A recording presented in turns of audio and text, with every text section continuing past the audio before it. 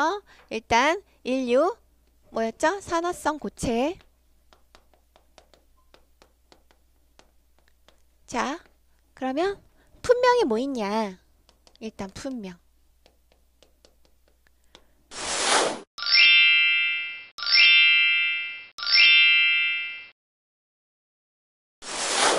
그러면 어, 위험 등급은 어떻게 되냐? 지정 수량은 얼마냐? 요거 해보겠습니다. 이 앞글자 따서 외우는 게 좋아요. 앞글자를 따야 생각이 나. 그래서 아염과 무. 아, 아염과 무. 아염소산 염류, 염소산 염류, 과염소산 염류, 무기과산화물.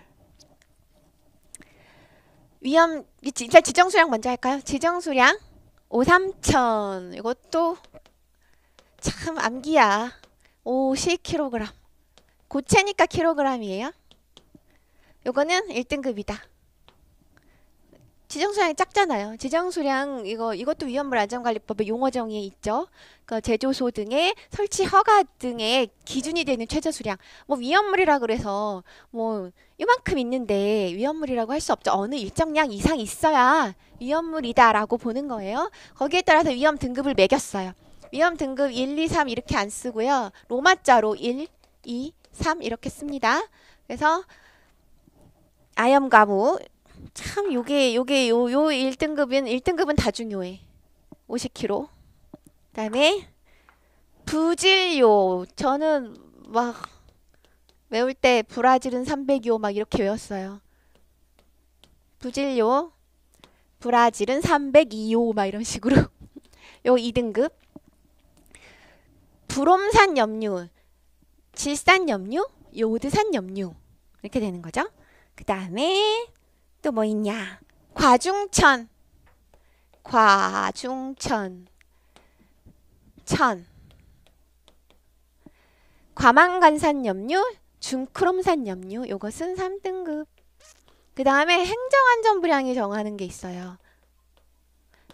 그 나중에 뭐 추가된 물질들인 거죠. 행정안전부량으로 정하는 것 중에 차 염소산 염류 이거 되게 많죠 종류.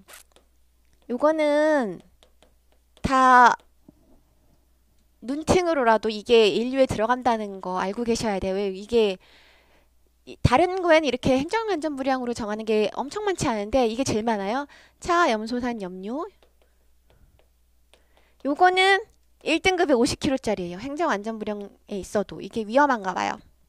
그 다음에 과요드산 염류 염류 또 뭐 있죠? 과요드산 그 다음에는 뭐 읽을게요. 쭉쭉쭉 있어요. 크롬, 납 또는 요오드의 산화물 아질산 염류, 염소화, 이소아눌산 아 이름 길다. 퍼옥소 이황산 염류, 퍼옥소 붕산 염류. 다 염류로 끝나는 뭐 염류가 있죠. 요것들은 3등급에 다 3등급에 300kg짜리.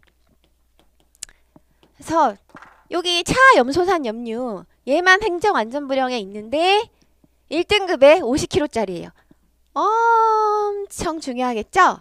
요건 알고 계시고요. 자, 요 밑에 이름 희한한 것들도 다, 아, 이게 인류의 행정안전부량이 정하는 것도 알고 계셔야 돼요. 네. 요렇게 해서 이 종류가 있다. 그럼 보통 다 어떻게 끝나요? 염류로 끝나네. 염류가 아닌 것도 몇 개 있지만 다 염류로 끝나. 염. 뭐뭐뭐뭐 염류. 물론 여기 무기과 산화물 요거는 염류 아니에요. 요것도 아니고 요것도 아니죠. 요 요 가우 요산 요것도 염류 아니죠. 네. 염류로 끝난다는 거는 이제 금속 염이 뭐예요? 우리 알칼리, 금속 뭐 이런 쪽 금속이 붙었다 이 말이에요. 염류는. 그래서 뭐 예를 들어서 염소산 염류다. 그러면 염소산에 염, 금속이 붙은 거. 뭐 칼륨, 나, 알칼리 금속, 알칼리 토금속 뭐 이런 거 있잖아요. 칼륨, 나트륨, 칼슘, 마그네슘 이런 거. 이런 게 붙은 염류다. 이거는 인류는 사실 인류 위험물이 제일 이게 좀 인류하고 오류가 좀 까다로운데 뭐 각종 염류가 많고 여기 행정안전부령으로 정하는 물품 품명도 많기 때문에 아 조금 헷갈려요. 1류부터 6류까지 다 하고 나면 이제 다 매스업 돼가지고 아 이게 뭐 이게 인류냐 뭐 뭐 염류가 붙었는데도 또 염류라고 안 나오잖아 보통은 뭐 무슨 칼륨, 나트륨 이렇게 나오니까 이게 염류인가? 그러니까 이게 염류인가?